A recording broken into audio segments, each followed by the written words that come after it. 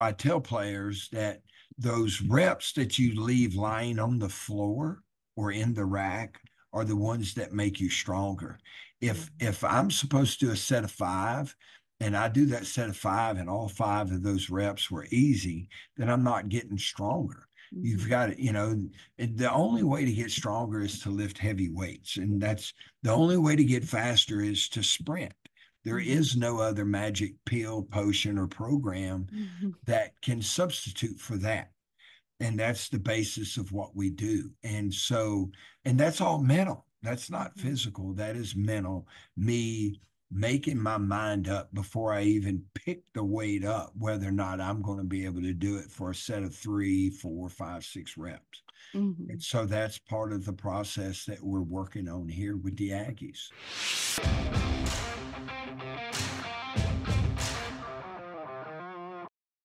Hey, Texas high school football fans. It's Taylor Arenz, sideline reporter for TexasHSFootball.com and the host of the Texas HS Football Podcast. Y'all, we know that in football, speed is essential, and that's one of the most important things college coaches and recruiters look for. They see your 40 time posted on your social media profiles, but Here's the problem they don't trust the times they see. Did you know the average 40 time is off by 0.28 seconds? That is where our Texas HS football podcast sponsor comes in. Laser Combines knows that timing is everything. They use the same official timing equipment of the NFL Combine. Laser Combines offers timing that NFL and college coaches trust. So when every tenth of a second counts, trust Laser Combines. Get timed, get recruited. Check out lasercombines.com.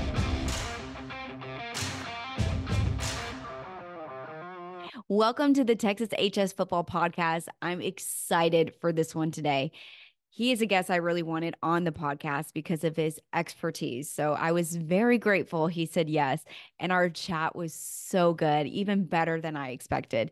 You will enjoy getting to learn from the best in the business. His name is Tommy Moffitt, Texas A&M strength and conditioning coach. And he's a great guy with lots of advice for not just football athletes, but all athletes.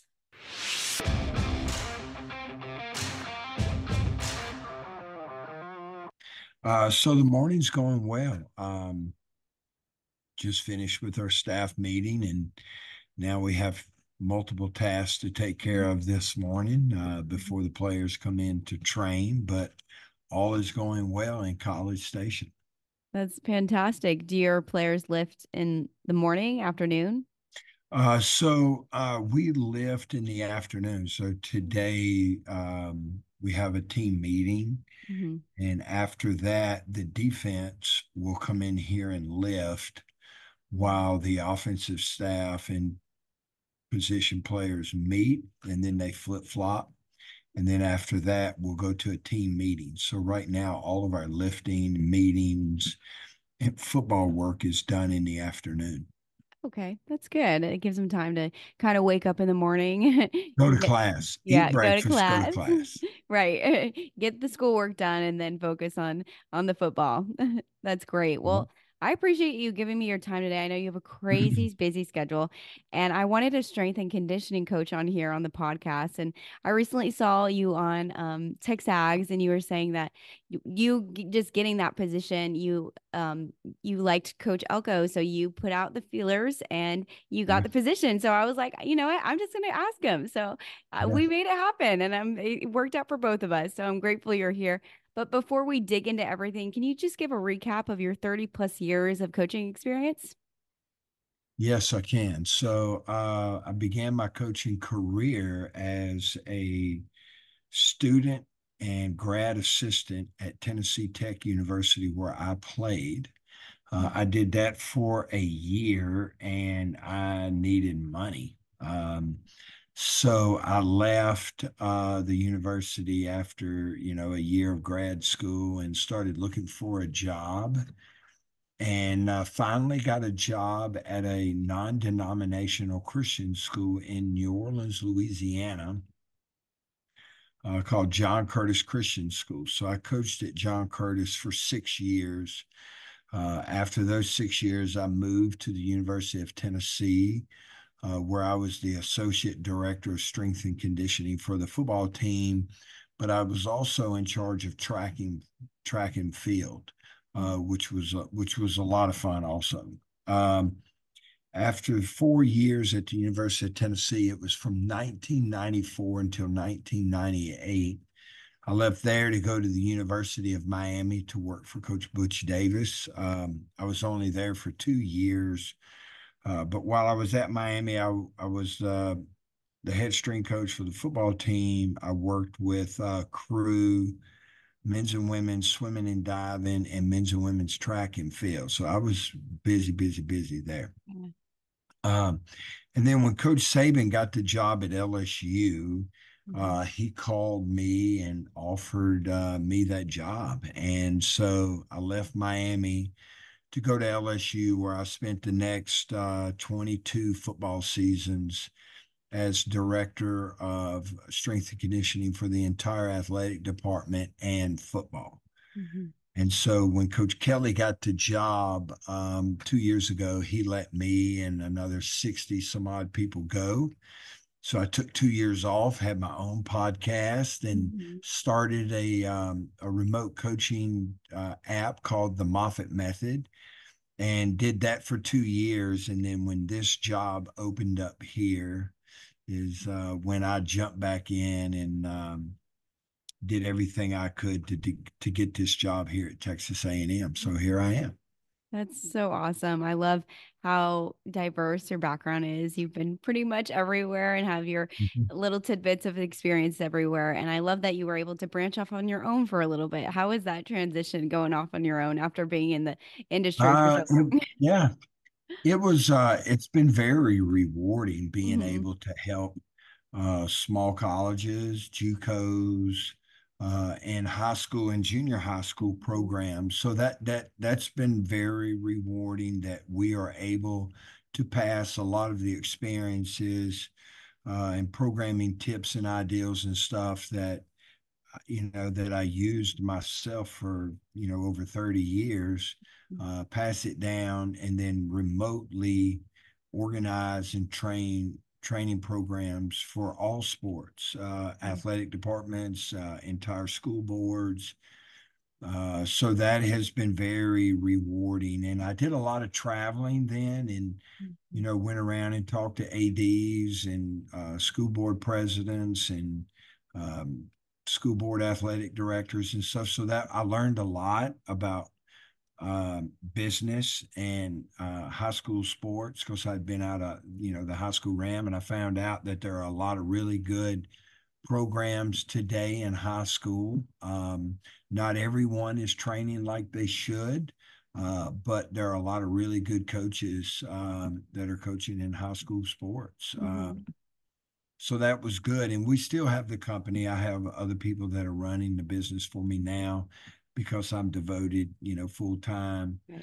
to this opportunity here and trying to make the best of it. And when I when I finally get my feet firmly planted on the ground, uh, mm-hmm. because we had a podcast that I hosted. I think I hosted like 55 episodes of a podcast. Mm-hmm. Um, and once I get my feet planted here, I'm going to start start doing the podcast. I probably won't do the hour, two hour length uh-huh. that I uh-huh. was, but I will um, start doing the podcast again at some point. That yeah, I I agree with that. Like a podcast is a lot of work. so yeah, once you get your is.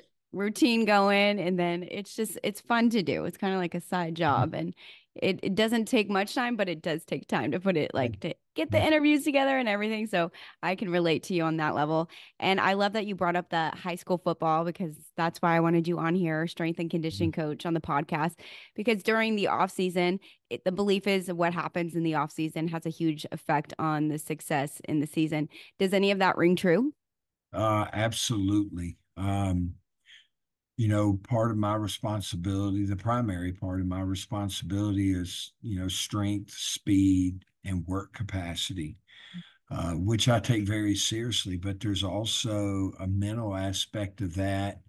Um, and whether you call it mental toughness or mental resiliency, uh, there's a lot that goes into developing, you know, the culture and the attitude of the football team um, and their ability, uh, the player's ability to overcome adversity. And uh, that's an important part of it that goes beyond the strength and conditioning aspect of it and something that we take very serious here and mm-hmm. something that Coach Elko takes very serious um, and a major part of my responsibility. Mm-hmm. I completely agree with that. And I instantly connect with that because I feel our mind is our strongest muscle. And sometimes mm-hmm. our body knows what to do, but it's our minds we got to convince. So, yeah. what would you say are the best ways to build confidence and mental strength?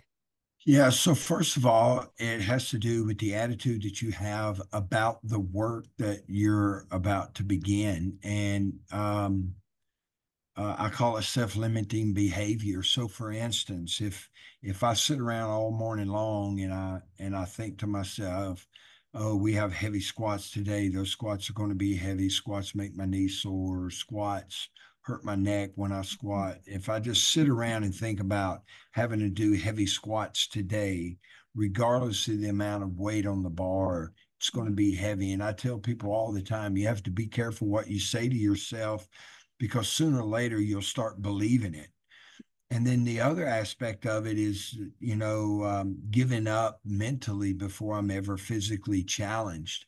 Mm-hmm. And I witnessed this Friday. We were working out, and you know, we were doing an auxiliary lift, and I, and I was talking to a group of players, and I heard some weights drop next to me that sounded real heavy. So I mm-hmm. wanted to see who was training and you know who was doing that that rep and I mm-hmm. looked over and I saw one of it's one of our best players. Mm-hmm. He's over there working his butt off, and when he finished, he set the weight down. It went boom, mm-hmm. and then um, another player, his workout partner at the same position, walked over there and started taking weights off before it was his turn to go.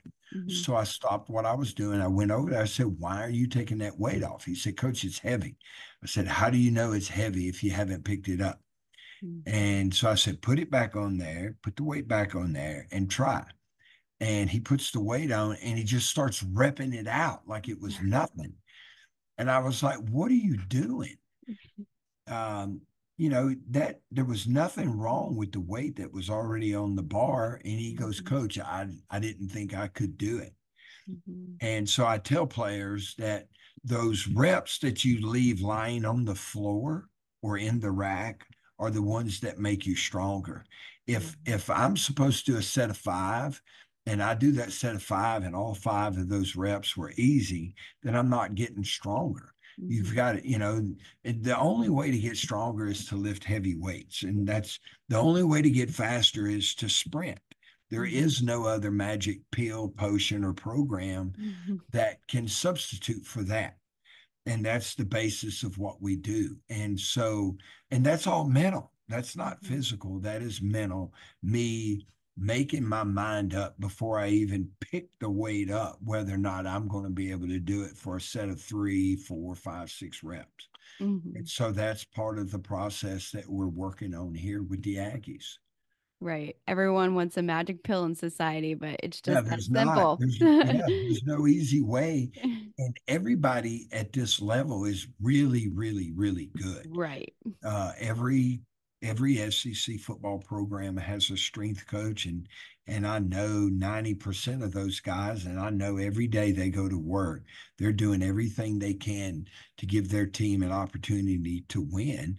And our players any player has to decide every day they go in the gym who are they going to outwork and who may be outworking them and what are you going to do to set yourself apart from all those other people and that's something that we're working on uh, here every moment of every day. And every second counts. Right. Every oh, second absolutely. of our preparation counts. There's no days off. Mm-hmm. no days off. It's always on. And like you said there's a lot of great athletes and you got to stand out above the rest. Like what makes you special? And what actions should high school football athletes be incorporating in the weight room now if they want to have the opportunity to play at the college level yeah, well, so, and this is what we preach with the Moffitt method, and that mm-hmm. and and with the Texas A&M Aggies, technique is paramount. So Mm-hmm. there is nothing that we do in the weight room or outside on the track that is more important than the execution of the movement, and it has to be flawless. Mhm. Um, if if I'm doing any exercise, bench press or squats or power cleans or deadlifts, if my technique is incorrect, not only am I at risk of getting hurt, but I'm not going to be able to lift as much weight. So, mm. by working harder, by taking the time to perfect my technique, not only will I stay healthy, but I will also be able to train with more weight. And the more reps that I do at a heavier weight, the better I get. So, number one is focus on how you perform the exercises. Um, and then make sure that you go in there every day with the mindset that you're going to outwork everybody on your team or everybody on your roster. And this, we show our player, our recruits, a chart. Uh, it's called the Kettle Index. And the chart depicts the amount of height and the amount of weight that a player gains between the age of 13 and 18 years old. And that, that growth is exponential Right. and um, once uh, an athlete, male or female, reaches the age of 18, that growth starts to slow down. So it is important that athletes, all athletes, not just football players, but Mhm. all athletes begin training, you know, at or before the age of 13 to develop flawless technique. Um, and then, so once that growth spurt starts to occur at around age 13, Mhm. they need to be training daily, year round, and playing multiple sports to take advantage of that growth. Because once they get to Texas A&M, they don't have nearly as much room for growth as they did in their formative years. So Mhm. it's important that they take advantage of that growth spurt, train regularly, do something at least five days a week. Um, uh, and you can't max out every day. You can't sprint full speed every day. You can't practice with full contact every day. But there is something that young men and women can do five days out of the week Mhm. uh, that's going to help them be better. And so stay busy. So have great technique, stay busy, train, sprint, run, practice your sports skills, plyometrics, agility drills. There's just so much to it Mhm. uh, for young men and women to do. But unfortunately, you know, they don't either they don't value it or they don't see the importance of it uh, or they think that when they get to college they're going to do this. But the room for improvement once they get here is really realistically anywhere from 15 to 20% which is still a big number. But if i'm a football player and i enroll as a freshman and my and I can clean 300 pounds. I can bench close to 400 pounds, and I'm squatting at or above 500 pounds, and I increase those numbers by 20%. They're in an elite category of collegiate football players.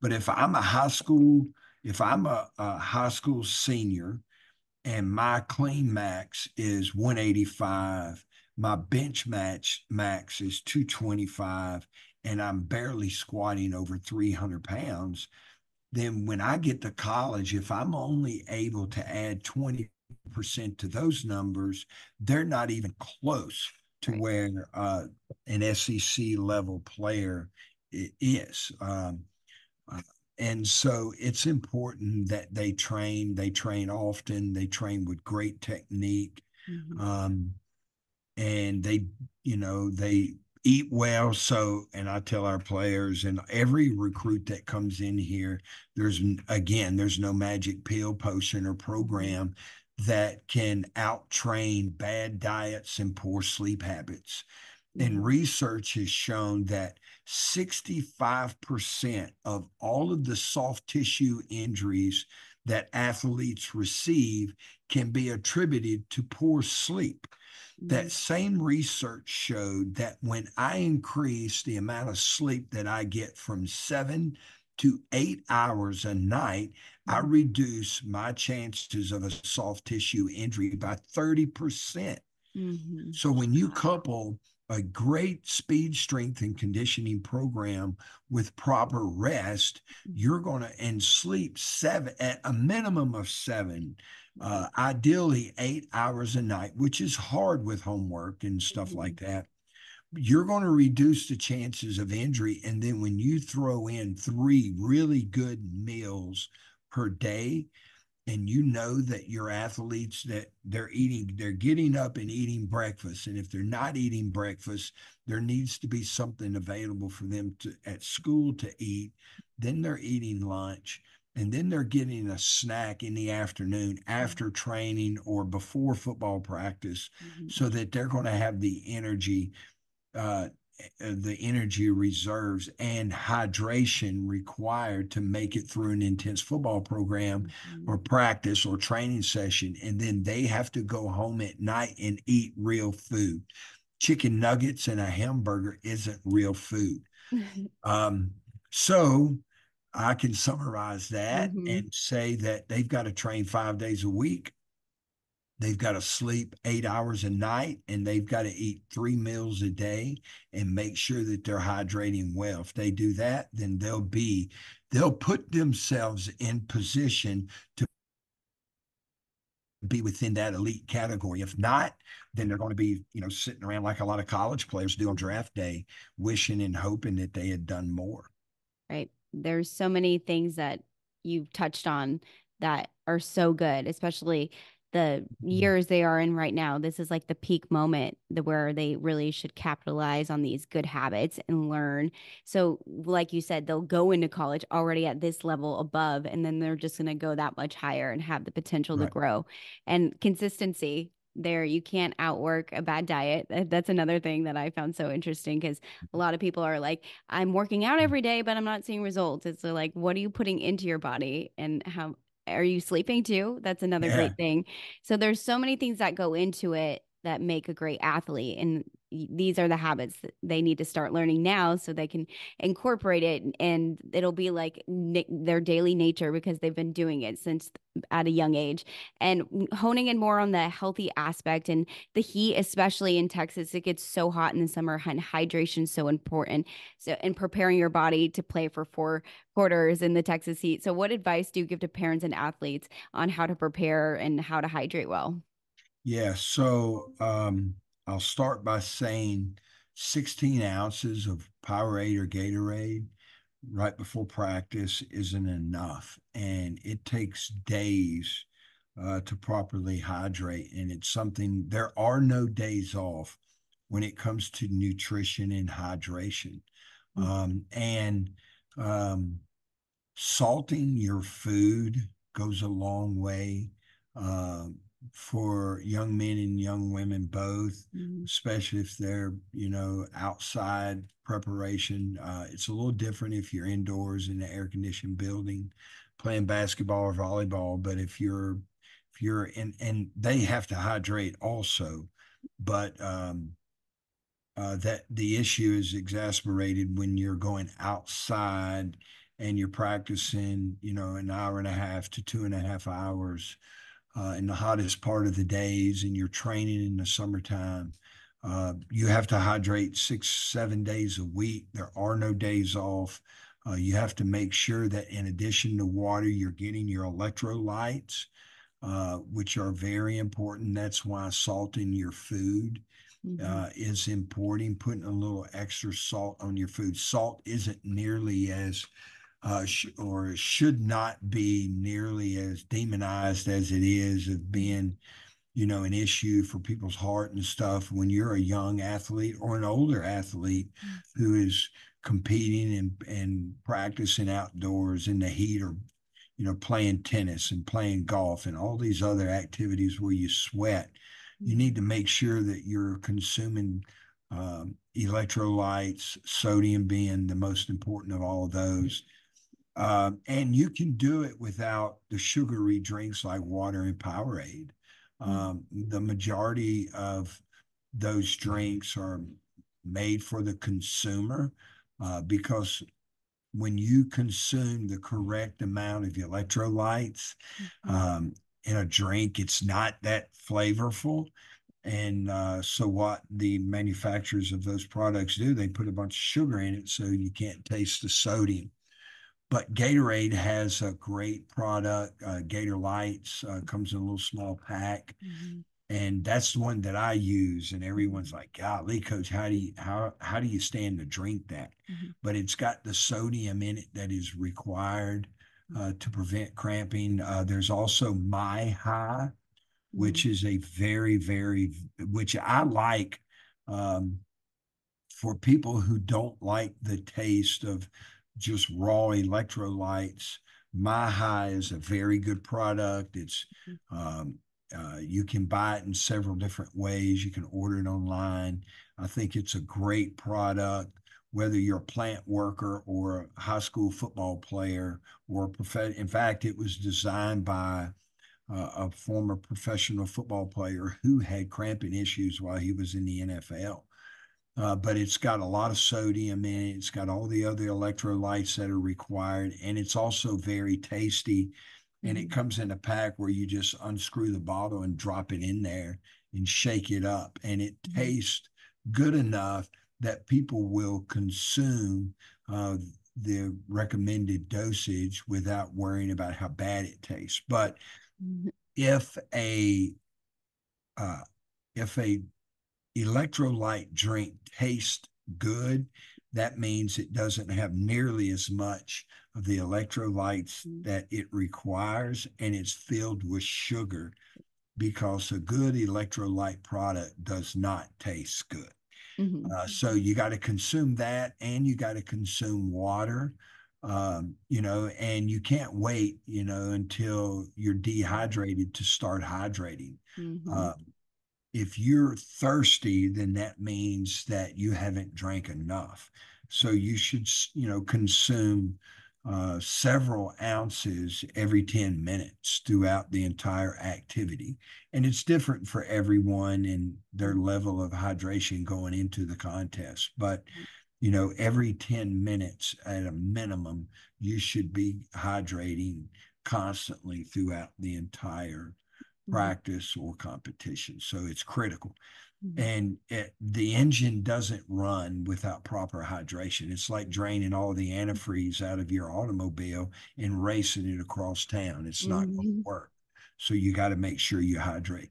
Critical, critical, critical. Critical. And it starts again, it starts days in advance, Yeah. not five minutes before the competition. Mhm. Absolutely. It's funny you say that because I was just reading something that if you're low on energy and you're always feeling tired, it's probably because you are not hydrated. So Right.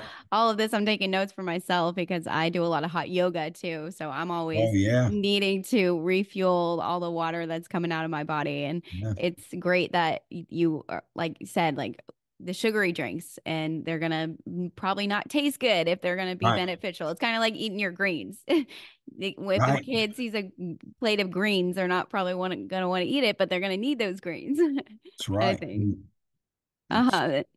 And I've been taking these salt chews recently. I think they've been helping, but I've been trying to stay on top of it before it gets too late. Like you said, you have to start days in advance and just not wait until you're like, well, I'm dehydrated and trying to play catch up.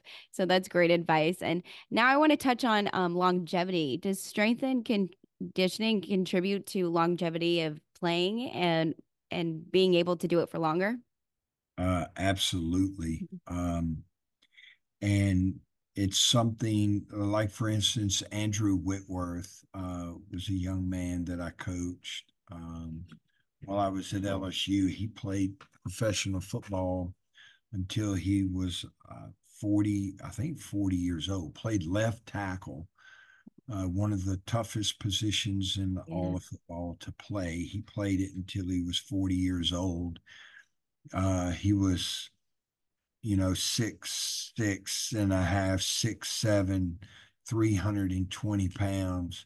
And um, his waistline was, you know, never more than 38 inches at over 300 pounds. Um, just as fit as he could possibly be. Uh, Corey Webster was another guy that that had a lengthy NFL career, and you know he and I I never kept count, but he told me the year he retired, he said, "Coach, I've trained with you for 13 years." And I was like, what? He was, yeah, I trained with you five years of college and then my entire NFL career. Mm. So we spent 13 years training, and the training, um, the training for a professional athlete, or and, and you know, when you said longevity, uh, you know, I immediately think about a professional athlete. So when mm-hmm. athletes begin training at a very young age, their training should be very basic, very fundamental, mm-hmm. focus on the large muscle groups and developing upper and lower body and thoracic uh, core strength and without any form of early specialization that they need general strength uh, general strength trains a lot of muscle groups at once like the barbell squat. Or the bench press or the power clean or the barbell press chin ups push ups dips all of those exercises they're they're they do not focus on a single muscle group or a specific athletic skill movement. They're very general in nature. And then as an athlete, uh, and so in saying that, one of the mistakes that I think young coaches or co- people who coach young athletes, they see what a guy like Andrew Whitworth is doing, or or uh, Mike Evans, or you know some great Tiger Woods, for instance. They see what they do in their professional career, but they don't see the hours that those young men and young women spent doing the basic exercises and becoming proficient at performing squats, bench presses, barbell presses, chin ups, and power cleans, for example. Mm-hmm. Then, when a player reaches an elite level, now their training becomes very uh, position specific. And you develop what is called special strength. And it's the strength to perform that exercise, that particular skill uh, proficiently and with great speed and power. But then, as those athletes begin to age and get more experience, then their special strengths become um, uh, become very high. But then, so then their training starts to become more generalized now to maintain that special strength throughout the rest of their career. And that's the way Andrew Whitworth, uh, and I'll give you another example Kyle Williams, um, who played for us at LSU, who played mm-hmm. 13 years in the NFL. Mm-hmm. His program was very basic and fundamental. When he got to the league, it got more specific, mm-hmm. uh, and where he developed that special strength to play on the defensive line. But then the latter stages of his career, he went back to more fundamental exercises because he saw that his squat was no longer what it was. So he began to do his squats more often. Uh, and I saw Kyle at a football clinic last year before, or this past fall or winter before I started here. And he was talking about how even still today, after he's retired, mm-hmm. he still goes in the gym. The first exercise he does are power snatches from the floor. Mm-hmm. And he mm-hmm. says, I know as long as I do those exercises, I'm going to continue to maintain uh, the strength that I need to throw a deer in the back of the truck or, you know, pick my kids up and throw them across the room on the bed, right. play football in the front yard. But he said, when I stop doing those athletic movements mm-hmm. in the weight room, I start to feel old.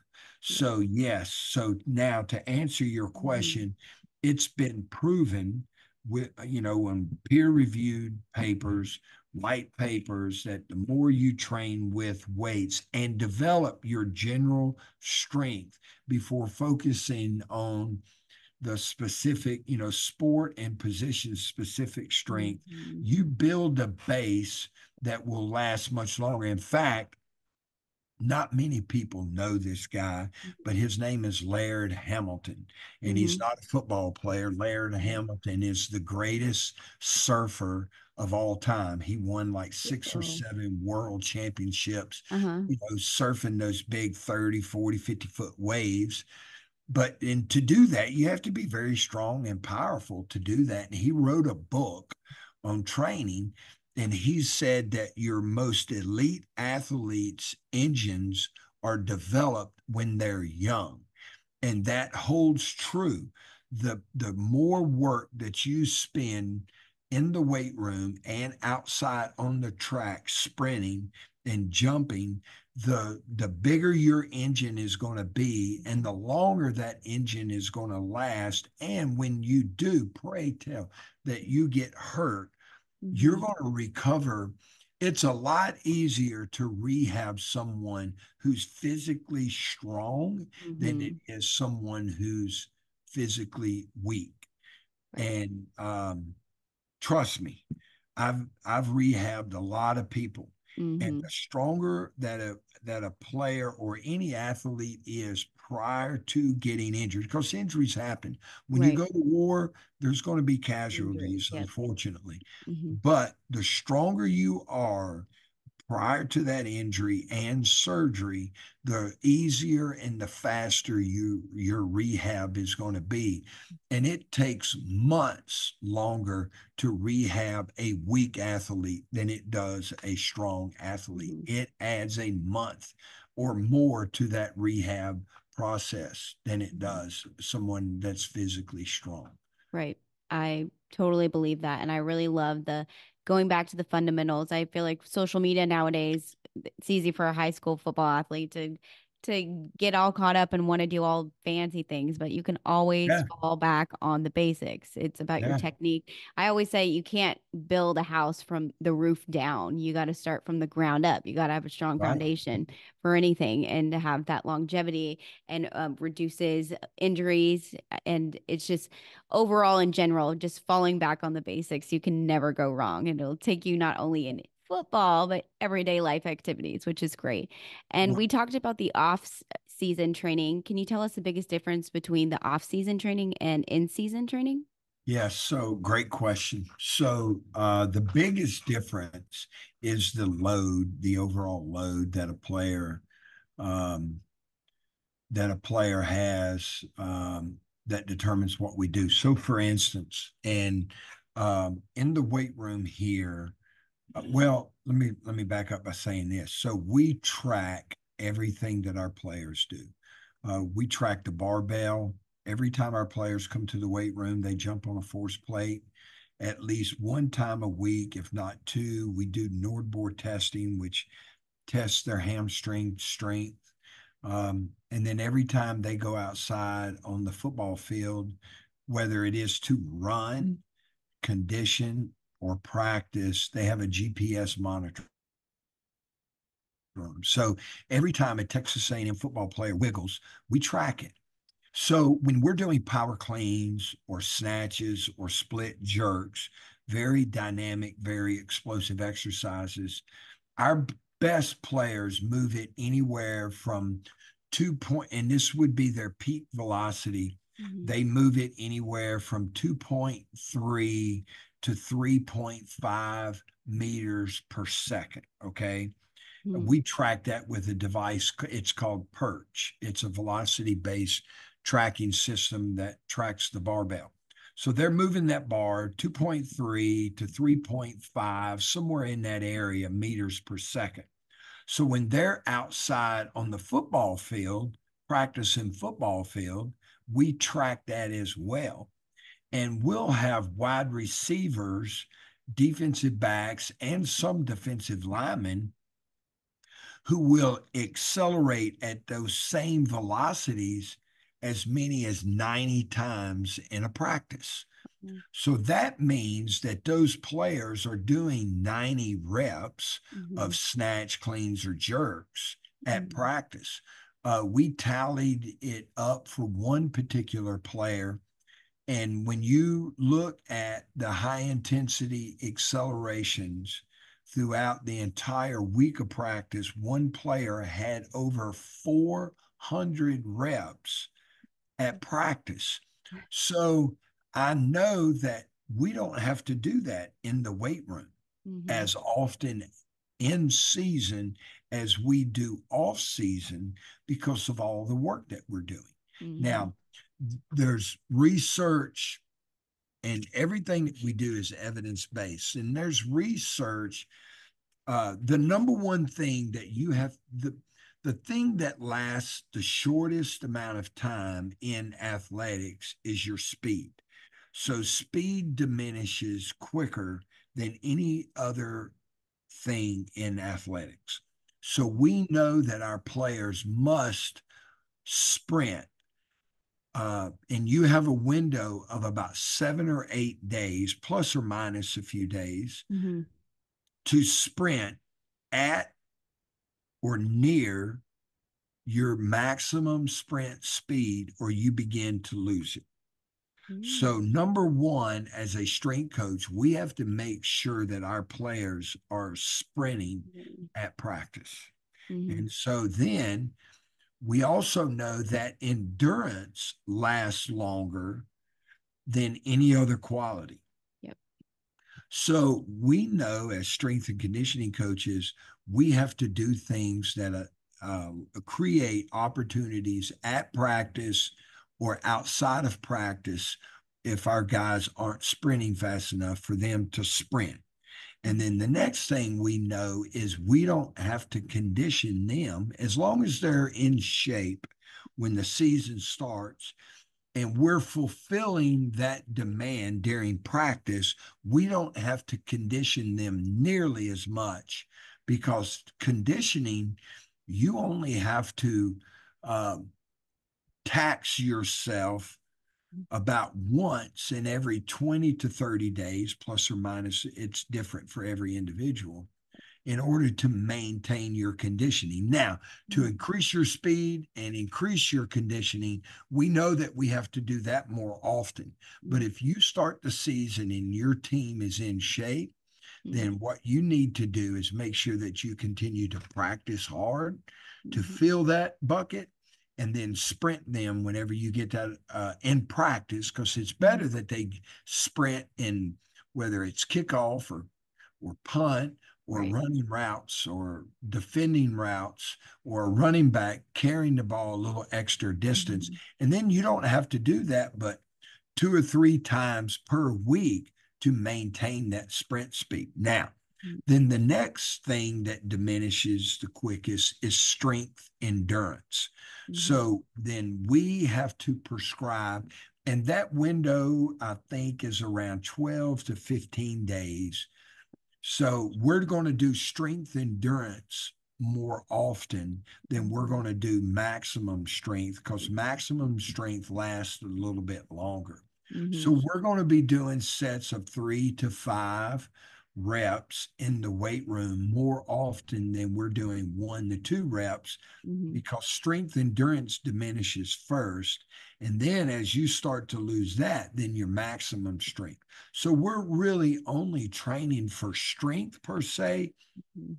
you know, once every two weeks, but we're training for strength endurance every time our players come in the weight room. Mhm. Is that, did I answer your question? Yes, no, that you did answer my question. It makes sense because they're playing these long games. They've already built the strength and endurance. That's what they need right now to maintain and be able to to to fly through these games and be able to stay Right. strong. And I think that's so interesting about the sprints. I did not know that. That's yeah, so cool. speed, speed of movement is the first thing that you lose as an athlete. Sprints, your sprint speed. Mhm. and, and so that window really is two to eight days. So Uh-huh. they say three to five days plus or minus two to three days.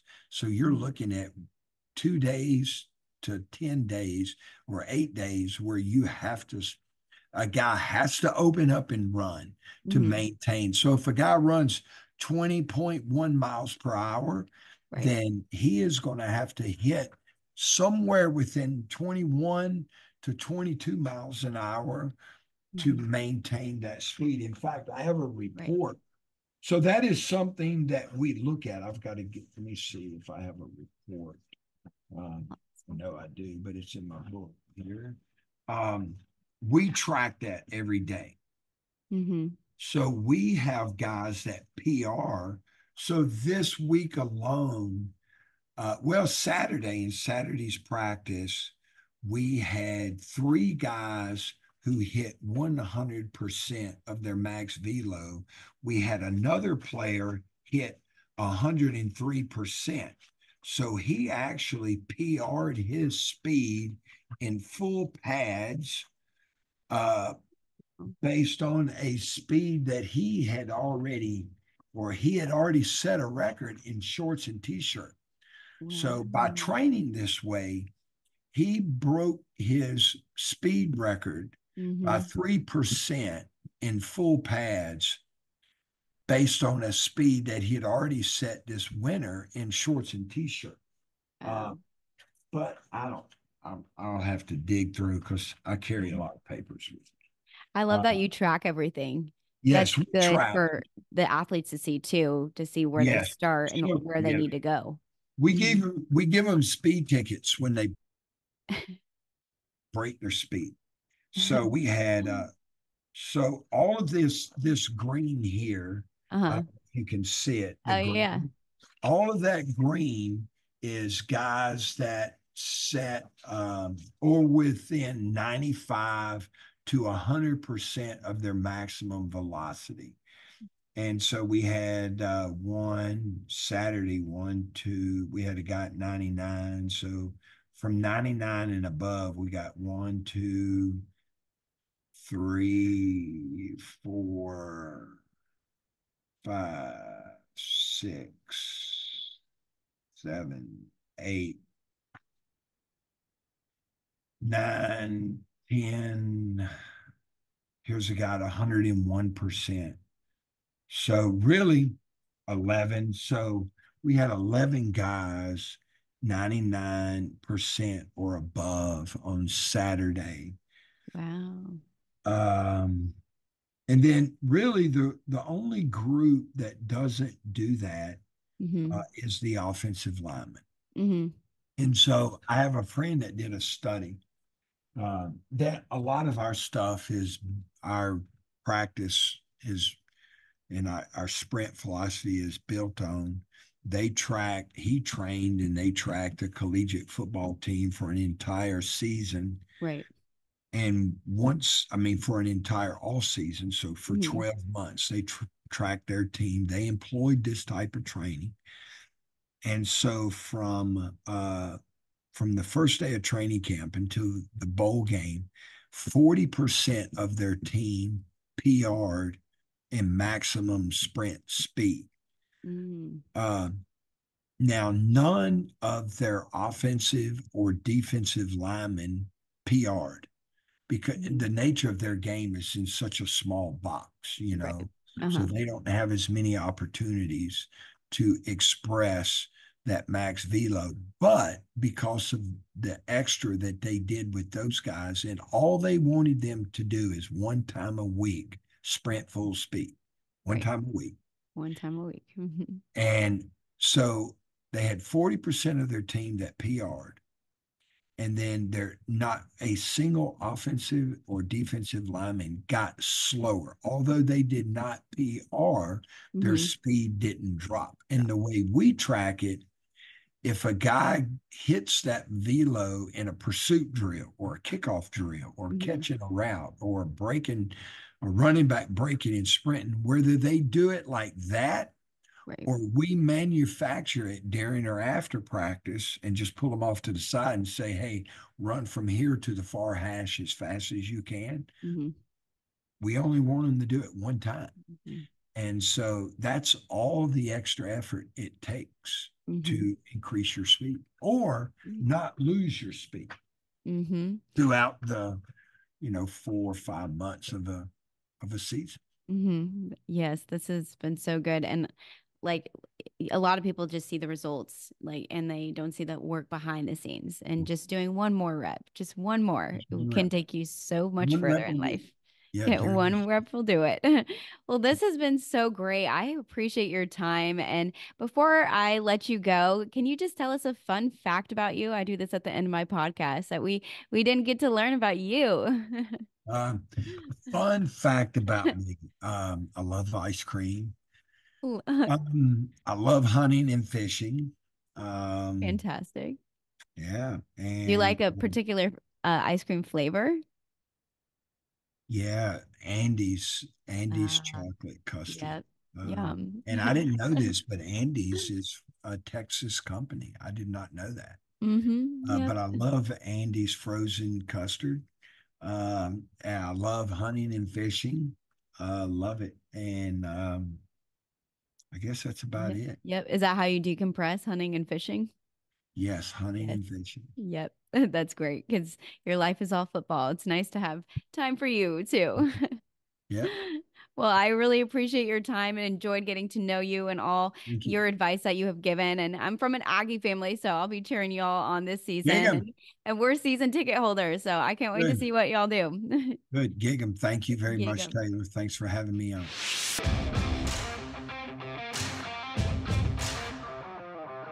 Hello, Texas high school football fans. This is KP Kelly, the editor in chief at TexasHSFootball.com.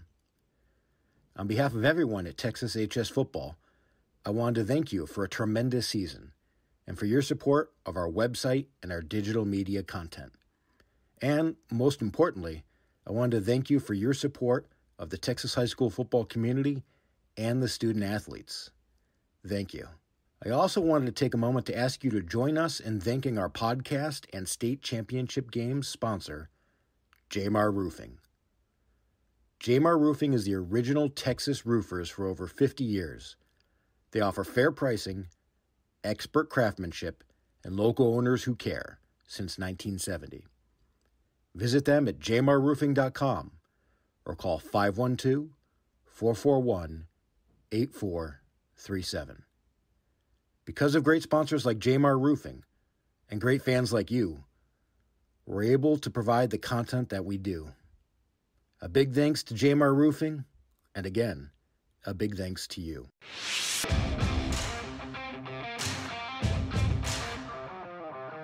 Thanks for listening to this week's episode. Be sure to subscribe to this podcast and check out TexasHSFootball.com for all things Texas high school football. We'll see you next week.